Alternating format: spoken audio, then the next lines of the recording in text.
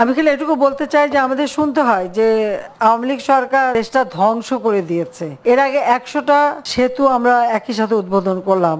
আর আজকে আমরা একশোটা মহাসড়ক নির্মাণ বা উন্নয়নের কাজ সম্পন্ন করলাম। আমি জানি না বাংলাদেশের মানুষ এরপরে যারা বলে যে আওয়ামী লীগ সরকার এসে দেশ ধ্বংস করে দিয়েছে, কিছুই নাকি করে নাই। তো দেশের মানুষ সেটা বিশ্বাস করবে কিনা সেটাই আমার প্রশ্ন। কারণ এই সুবিধাগুলি যতটুকু আজকে আপনারা পেয়েছেন, ছিয়ানব্বই থেকে দু হাজার এক আর দু থেকে দু হাজার বাইশ পর্যন্ত আওয়ামী লীগ সরকার ক্ষমতায়। এর বাইরে যারা ক্ষমতায় ছিল, একুশ বছর আর দু থেকে দু এই উনত্রিশ বছর বা ত্রিশ বছর যারা ক্ষমতায় ছিল, তারা দেশের জন্য কি করেছে আর কতটুকু উন্নতি করেছে?